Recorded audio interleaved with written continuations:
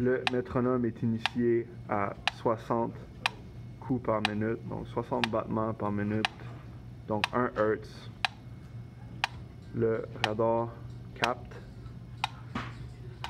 Ici on voit la tension qui est captée par le radar. Dans l'analyse spectrale, on voit le pic à 1 Hertz. Le battement par minute extrêmement précis, il est à 60 piles